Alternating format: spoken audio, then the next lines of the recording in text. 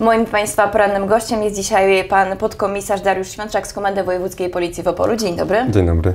E, zakupowe szaleństwo takie przedświąteczne trwa w najlepsze, zwłaszcza to widać e, właśnie w galeriach naszych handlowych, gdzie w pośpiechu rozglądamy się jeszcze za ostatnimi prezentami. No ale właśnie, jak nie dać się oszukać i okraść, dlatego że no, zdarzały się w ostatnim czasie także przypadki kradzieży, kto komuś skradziono na przykład telefon. Jak się przed tym uchronić? No tutaj najczęściej po prostu okazja czyni złodzieja i my od lat w zasadzie apelujemy o takie e, podstawowe zasady związane z ostrożnością i wydaje mi się, że rzeczywiście ta ostrożność przy trzymaniu tej gotówki, już bardzo często przecież nie gotówki, bo karty e, płatnicze i telefonem płacimy, więc e, to są te wszystkie elementy, które sprawiają, że te pieniądze, które nosimy przy sobie, rzeczywiście są coraz bez, bezpieczniejsze i takich kradzieży sklepowych czy kradzieży kieszonkowych mamy coraz mniej. Natomiast rzeczywiście zdarzają się kradzieże torebek, plecaków, toreb, najczęściej w sytuacjach, kiedy po prostu zostawiamy je na chwilkę bez opieki, na ławce, odstawiamy gdzieś na bok. I to są te chwile nieuwagi,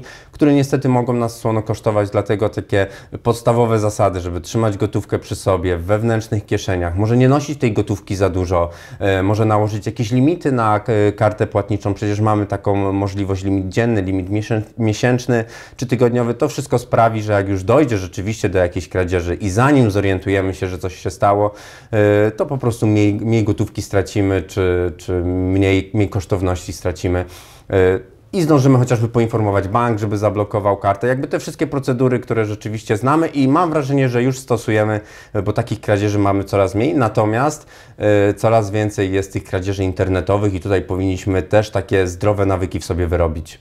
No ale właśnie, teraz przed świętami zwłaszcza zwracamy uwagę na ceny i na okazje. Jak tutaj też nie dać się oszukać? Bo myślę, że może zdarzyć się osoba, która przyjdzie, zaproponują nam na przykład perfumy w bardzo atrakcyjnej cenie. No ja tutaj y, bardzo mocno pragnę zaapelować właśnie do wszystkich osób, które y, napotykają na swojej drodze taką okazję, czyli ktoś na ulicy, w centrum handlowym, przed wejściem do centrum handlowego, y, gdzieś na głównym deptaku miasta, właśnie zaczepi nas, zaproponuje w bardzo, do, w bardzo niskiej cenie drogie perfumy, perfumy, jakiś sprzęt elektroniczny, czyli jakby to wszystko, co czasami kupujemy, być może chcemy to podarować komuś na prezent, a tutaj taka okazja. No nie bądźmy naiwni, możemy z dużą dozą prawdopodobieństwa założyć, że te rzeczy mogą pochodzić z kradzieży. A ja tylko przypominam, że paserstwo także nieumyślnie, nieumyślne jest karane, więc tutaj jako osoby dorosłe musimy domyśleć się, że tak okazyjna e, cena produktu oferowanego nam gdzieś na ulicy, no to najprawdopodobniej ten przedmiot pochodzi z przestępstwa, więc nie możemy tak takich rzeczy kupować i nie róbmy tego, bo to tylko tak naprawdę e, napędza tą złą koniunkturę.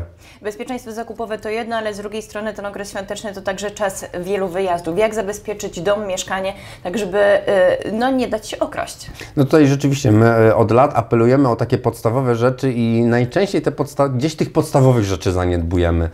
Pilnujemy niuansów, detali, szczegółów, żeby zdążyć, zdążyć na czas, żeby o niczym nie zapomnieć, a na przykład w tym ferworze zapominamy zamknąć drzwi ale to na przykład garażowe, y, jeżeli mowa o właścicielach domów, albo jakieś drzwi y, od, y, od tyłu, od zaplecza domu, albo nie domkniemy chociażby okien, zostawimy okno gdzieś uchylne.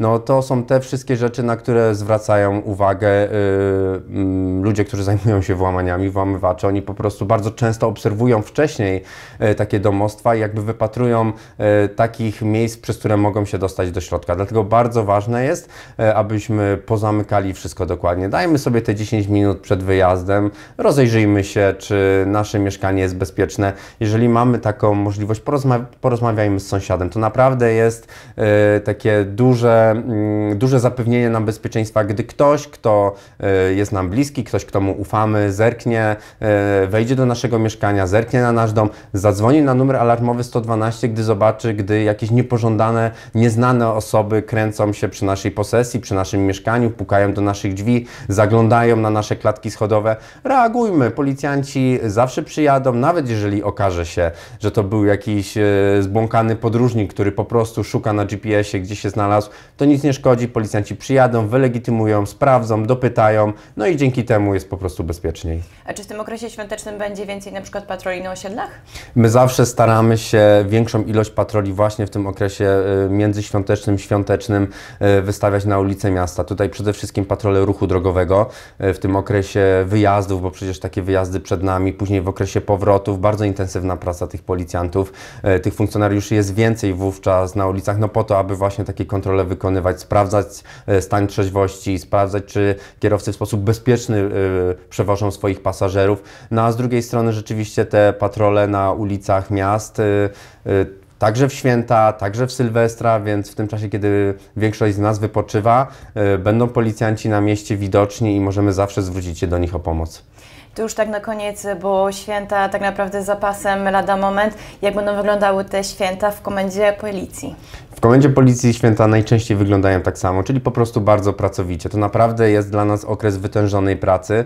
E, Niektórzy z nas mają wówczas wolne i im życzę jak najlepszego wypoczynku, natomiast dla wielu funkcjonariuszy e, jest to okres e, wytężonej pracy. My mamy wówczas również większą ilość interwencji, bardzo często niestety związanych z nadmiernym spożywaniem alkoholu, więc tutaj rzeczywiście my szykujemy się na ten okres i stąd też nasze apele o taki rozsądek, o wyrozumiałość e, dla wszystkich, żebyśmy mogli e, jak najbezpieczniej te święta spędzić. A będzie jakaś wigilia?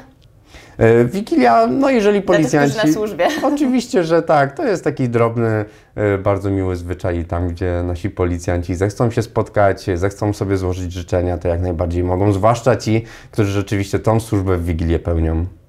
Bardzo dziękuję za wizytę w studiu i, i za rozmowę. A moim Państwa gościem był podkomisarz Dariusz Świączak z Komendy Wojewódzkiej Policji Oporu. Dziękuję.